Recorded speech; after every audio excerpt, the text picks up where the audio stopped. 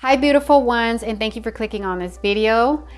I'm Andrea Gonzalez and welcome to Fruitfully Nourishing. If you haven't done so already, go ahead and click on the subscribe button and the notification bell. That way you don't miss a video that I talk out. about the best bra for breast health.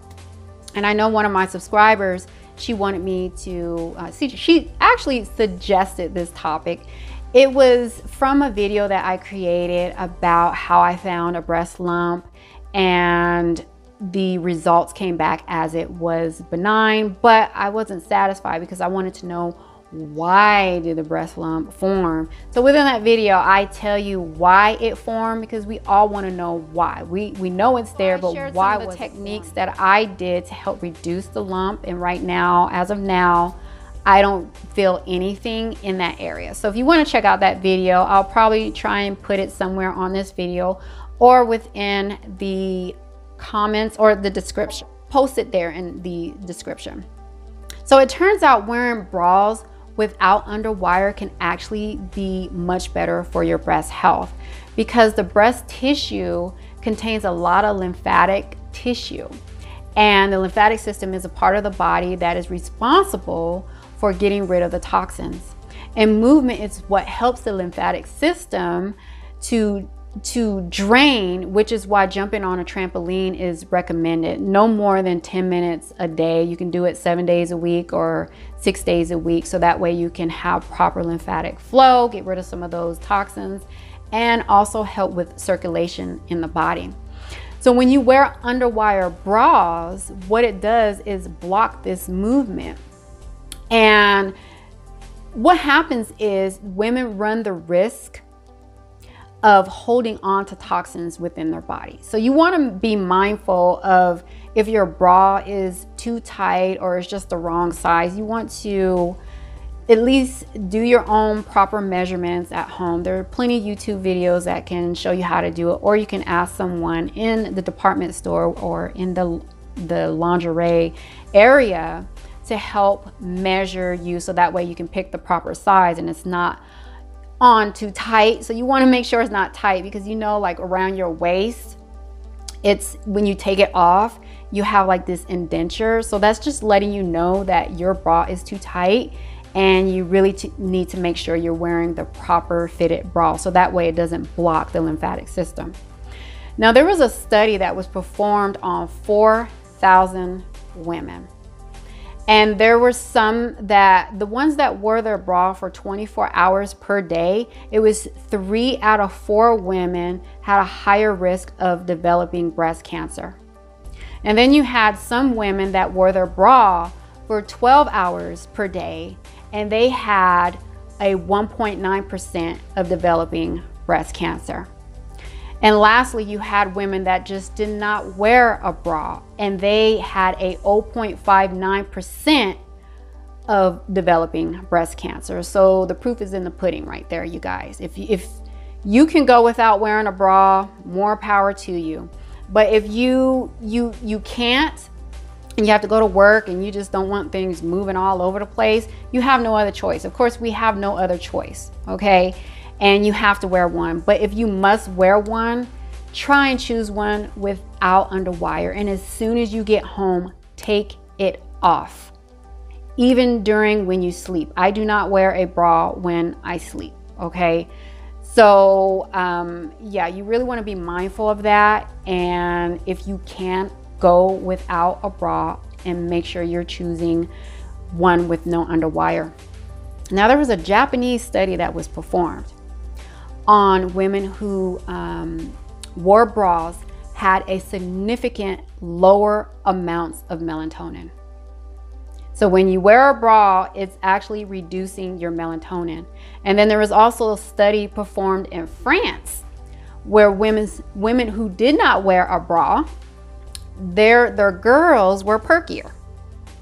Yes, they found out they were perkier. So I'm just saying, if you want some perkier girly girls, you may want to take some of my advice. I'm not a doctor, but just these are studies that have been performed and they are accurate studies. So just be mindful. I mean, it's entirely up to you what you do, but I hope that you take my um, opinions and my recommendations into consideration. So where should you start? If you are looking to ditch underwire, I suggest that you try bralettes. Bralettes are really cute, dainty, very feminine. I love the ones with lace. I absolutely love them. They're very comfortable. It takes some time to get used to, especially if you're used to wearing underwire and bras that do a lot of lifting. Um, it will take some time to get used to. And, but keep in mind, you're doing this for your overall health and your breast health as well. I do want to let you guys know that I am not sponsored by Victoria's Secret, but this is one from Victoria's Secret that I have, and I absolutely love it. And it's so comfortable and it has no underwire. It's so smooth, it's so soft, and it just molds and melts right into your body. If I have a link to it, I will give that you guys to uh, within the comments. But if I don't, I will give you some of my recommendations and to the best bralette. Bralettes are cute, y'all. They are cute. So just don't disregard them. They are cute, okay? And I wanted to offer some other tips. You want to make sure for breast health, you want to make sure that you're doing a monthly self exam in the shower. And you also want to make sure that you be mindful of the products that you are using topically. That's all over your body, and your girls get hit that too. You know, so if you're using lotions that are not organic, your skin is the largest organ and it absorbs everything that you put on it. So be mindful of that. Look for organic and really you want to look for products that do not have um, phthalates or parabens because those are the two main ones, especially for the body period. But if you're putting it around your girly girl areas, you really want to be mindful of that because your body it absorbs it and it's toxins. So your your your skin is absorbing toxins. You already have toxins build up because if you're not jumping on a trampoline or you're not doing any type of movement every day, you are running the risk of having toxic buildup. Not just within the body, but you want to be mindful of the liver. The liver is the most important organ. So you want to make sure you're eliminating toxins from there. So work out, move, get yourself a bra without no underwire. Get some, do your self breast exams monthly, or you can have your OBGYN do it for you. If you don't know how to do it, ask your OBGYN, and what they can do is print out some information on how to properly do that. And you also want to make sure you're doing massages. There's certain ways that you can do massages. You use um, either your lotion or an oil, uh, organic oil, uh, I will give you some recommendations in the description as well if you would like that. That's entirely up to you, but you want to make sure you are massaging the area, helping with circulation and toxins within the area, and making sure the lymphatic system is moving how it needs to, removing some of those toxins out of the body. Thank you so much for staying until the end of this video. And if you feel this video was of value, go ahead and share it with a family member or a friend. And I will be greatly appreciated for that.